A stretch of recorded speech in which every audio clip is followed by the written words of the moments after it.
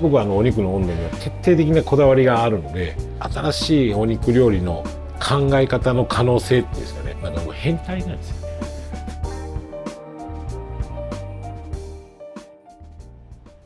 こんにちは、うまみホリックの浜武文です。今日は東京銀座にある肉屋田中さんにお邪魔しています。今回はですね、肉屋田中の田中さんの特別な計らいによって、神戸ビーフの競りの方にですね、えーなんと参加することができました。田中さんが競り落としたお肉をいただくという非常に貴重な機会をいただくことができましたんで、楽しんでいただければというふうに思います。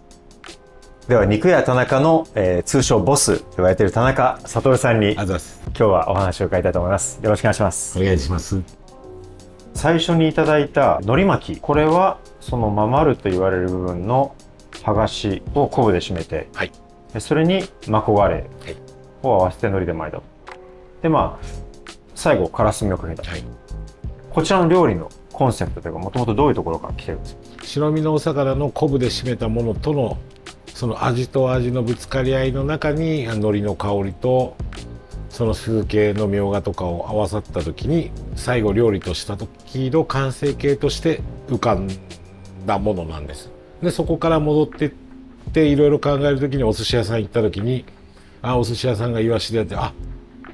この方法で海苔の中に閉じ込めちゃってやることができないかなって言った時に始まったんですけどでその時にやっぱりお肉を昆布で締める時間とその時のお魚のまあ脂質の具合のバランスを考えてそこに少し時間差を持たしたりしてもう何か一体化させる。これお肉やったのかな？これって魚やったのかな？ってなんかわからないものにしたいなっていうなんかちょっと季節を感じてもらいながらお肉とお魚のこう組み合わせっていうものを驚いてもらいながらあなんかこれいいよねああるよねって思ってもらえないかなっていう感じから始まってます。魚介のああいう海苔巻きと違うのは、牛肉の甘みが加わるっていうところが何より違うなっていうふうに感じましたね。続いて、えー、イチボとはいランボソ。はいイチボは叩きで、はいランボソは、えー、まあ、わら、わらで炙る形で。叩きをあの直接炭火っていうか炭の上に置いてっていうのがもうなんか僕のちょっと特徴的なお料理になってて焦がしの入れ方とお肉を昆布締めにしてある程度の温度まで上げた時に起こる変化に独特なものがあってあれが好きなんですよね。で季節に応じてポン酢になったり、えーちょっと違うソースになったり変えて変化を出していく。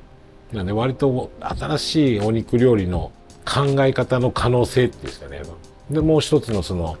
ランプの方の,、まああの香りをつけたあのお料理も牛に流れてる血とその藁の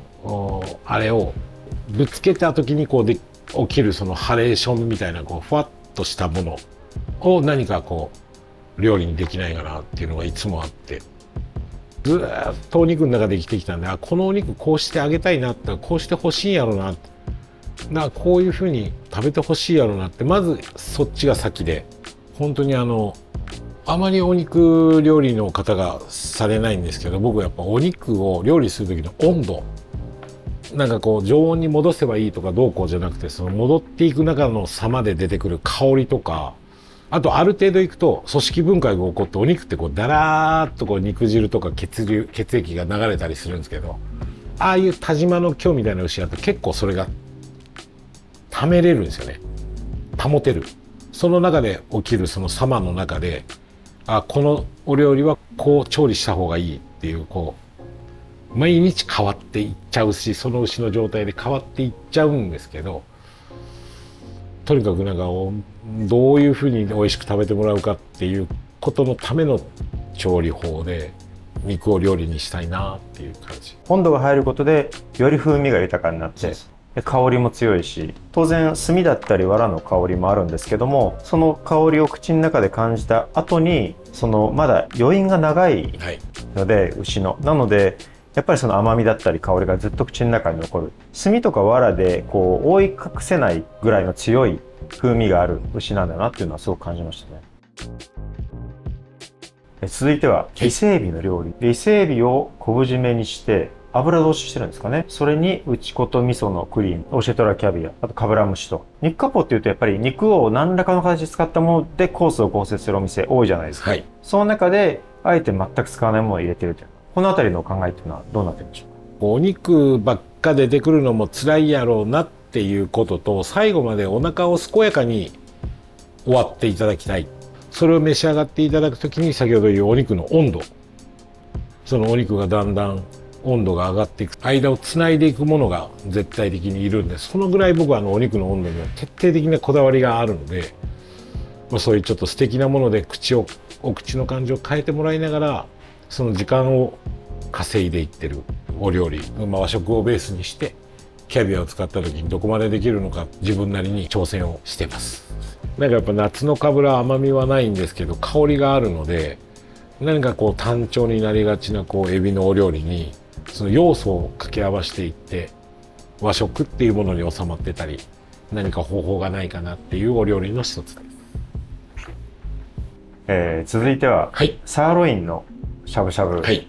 手で切ってらっしゃって、はい。でいわゆる機械で、まあ、切るよりもちょっと厚みがあったりとか、はい。でそこに包丁を入れてらっしゃったりとかしていわゆるその一般的にイメージするしゃぶしゃぶとかなり違ったものをいただいたと思うんですけどもお肉料理であんまり変わった料理技法を混ぜていくっていうことを僕は自分のお店ではするべきじゃないっていうのがあって手で切った方が美味しいお肉とスライサーで切った方が美味しいお肉があるんですよね。今日のあのサーロインのやつは手切りで牛刀のこの面積で摩擦の熱がかかっていくんですよね。お肉を切るっていうことは摩擦とどうなっていくかっていう因果関係があってスライサーでやると高速回転がかかった摩擦を取っていく。熱を入れてるんですよね。さっと切っていくときに。で手で切るとどっちかというとその熱がお肉の断面に伝わりにくいって昔から職人の間では言われてる。お熱を入れてった時と熱の入り方。でそれを口の中に入れた時にその口どけとか繊維質のほどけ感とかずっと肉屋としてやってきたこの包丁仕事のこだわりが中に詰まってて。なんで今日のお肉のあのサーロインの場合はああいうふうに手で切ってああいうふうに、えー筋切りをしてあの厚さで切ってあの火入れをしてえー出来上がる。なんかもう変態なんですよね。すいませんあはい。りがとうございます。えー続いては、えー、鮎の一夜干しを使ったお椀季節がこう出にくいお肉料理肉割烹の中で季節を感じてもらいたいっていうこととお客さんの記憶の中から次のお肉行くところまでに完全にリセットを入れたい。こういう時にまあお料理でいう谷とか山とかっていうんですけど引いて引いてっていう考え方をすると切れないんですよね。前のが引きずっていくので旨味はぶつけていきたい。美味しいもんと美味しいもんぶつけて前のお肉の余韻をポンと断ち切りたいんですね。ちょっと鮎も生きてる鮎とか生の鮎を使うとちょっと香りが出すぎて今度はその他のものが次のお肉始まるお肉の邪魔になっていくので一夜干しにしたのはやっぱり少し鮎の香りを抑えたいこと。で鮎のだし骨を炭でちょっと炙るんですけど。でカツオの一番だしと昆布のだしと合わすんですけど。それでもその鮎のその骨を焼く工程も割と軽めにしたりとか。全てはまあお肉を美味しく食べるためのコース構成と。お肉が使ってないものを出すとしてもあくまでその肉のためだから肉割烹ってそういうことなんですね。そうです。本当言ったらもうお肉だけで終わるのが一番いいと思うんですけど繊細なことを感じてもらうにはやっぱりところどころ切らなく前のお肉の余韻を切っていく必要があるんですよね。言葉にいちいちしないですけど心がけてやってますえ続いては、はい。まあ、メインディッシュともいえるシャトーブリアン炭火焼きをいただきました。はい。明らかに一般的なシャトーブリアンと違うのがあの油をしっかり残して焼いてらっしゃる。僕に言わせばヒレもシャトーブリアンも内臓肉なんですよね。だからヒレの油も甘くてめちゃくちゃ美味しいんですけどヒレの常識論でいくと全部外してきれいにして赤身だからヒレだよって言うんですけど僕はあの油がお肉の油の牛肉の油の中で一番大好きで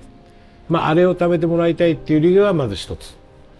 とあとなんかもう一つ一番大きい理由っていうのはステーキをロガマで焼いていくときに油の香りでいぶしながら焼きたいっていう意味合いもあってつけて焼いてます。本当におかしな言い方ですけど油なのに脂っこくないというか本当に軽くてでも十分旨味もあって本当に美味しかったですねあれ普段くっつけてないのはもったいないと思うぐらいですけどまああれね全ての牛肉で全てのヒレであれがやったらいいかっていうとそれはちょっとねあの特別にいい肉だったんでってなると思うんですけどもすごく油自体美味しかったですね。え続いては、はい。すだちの冷麺。こちらの出汁に鰹節、まあ、昆布あとは今日いただいた肉のそうです。出汁ってことなんですか？その日使った牛で最後まで行くっていうのが一頭買いの僕のルールなんでであの山のように毎日出る牛肉のこの端材の中から油だけを取り除いて牛の筋とまあまあお肉がついた状態でものを沸いてるお肉に鰹節みたいにドッと入れてで最初吹きこぼし1回取ってもうパッと捨ててでもう次もう1回吹きこぼしたやつをもう一遍入れてふわっと沸いたら止めちゃってもうそれを抽出したのがうちの牛のお出汁なんでもう海のもののお出汁と合わせていった時のまたこのぶつかり合いで生まれたものなんですけどもこれはもうずっともう僕を支えてくれてるお料理みんなこれを食べに来るって言われます。あとはその白ご飯と一緒にいただいた味噌汁。はい。こちらにも、えー牛肉の出汁を入れたものをいただきました。今日はたまたま浜田さんにちょっと食べてもらおうかなってもう僕のお袋の味です。今日使ったのはトップサーロインの一番頭なんで、